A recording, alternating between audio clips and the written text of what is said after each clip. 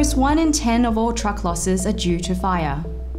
The engine bay, driver's cabin, electrical components, wheels and tyres.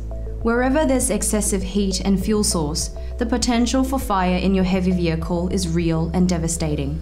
Drivers that have been through fires take that experience home with them.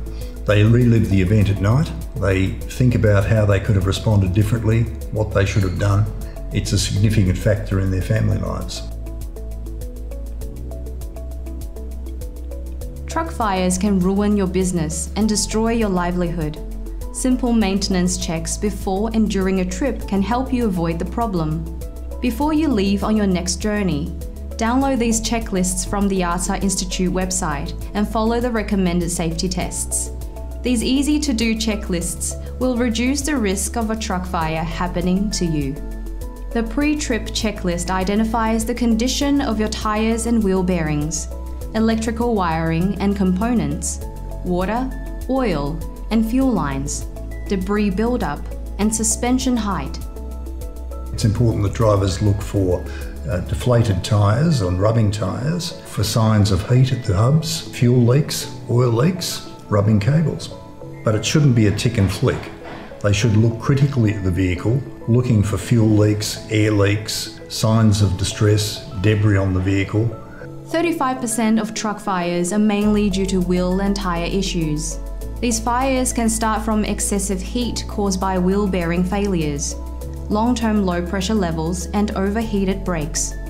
These fires often start after your vehicle stops due to the loss of a cooling airflow to the heat source, and in particular, a hot wheel rim. Wheel bearing fires can occur for a number of reasons, including a faulty or worn out bearing, or overloading leading to excessive forces on the bearing that can result in the wheel axis being slightly off the center line of the axle. This leads to dragging brakes and possibly a fire. Tyres get hot because they're underinflated and the rubber is working hard, or the brakes are dragging and the heat from the brake drum gets to the rim of the tyre. In the pre-trip check, it's important that drivers look for deflated tyres and rubbing tyres, for signs of heat at the hubs.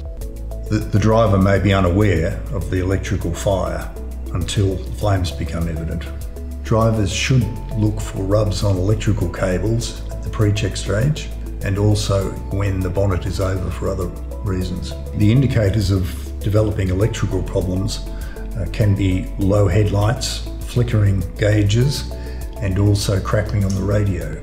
A small coolant leak, for example, will, after the water evaporates, result in a residual deposit of ethylene glycol powder.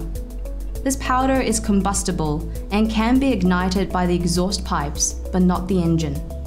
Drivers should never ignore diesel fuel on the ground under a truck. It's a clear sign of a leak, and if that leak develops, a fire will occur on the exhaust.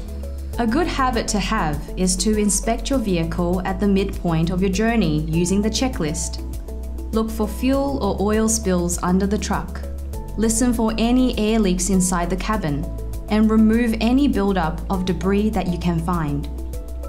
If you struck an animal along your trip, look for any damage. Check for any damage to fuel lines, air lines, wheel, and brake chambers and valves. Look for any leaks of coolant or fuel, particularly near the area where the strike occurred. It's very important that drivers do not ignore smoke smells in the cabin. The driver should stop and check it out. There's at least one heavy vehicle truck fire every day of the year. It's true that truck fires can ruin your business and destroy your livelihood. There's also a human toll. Small transport companies that experience fires may not recover from it. The fire is a significant financial and emotional burden for the company. If they are owner drivers, it's likely to kill the business. Drivers should conduct simple maintenance checks before they start and during the trip. To help you understand the signs of an impending truck fire or respond to one if it occurs, download the Driver's Safety Guide from the ARTSA Institute website. The guide can help you avoid any pre trip or on the road problems that could lead to a fire. It also includes the easy to follow checklists that we have been using in this video. A simple change in the way you maintain your truck could save your business and your life.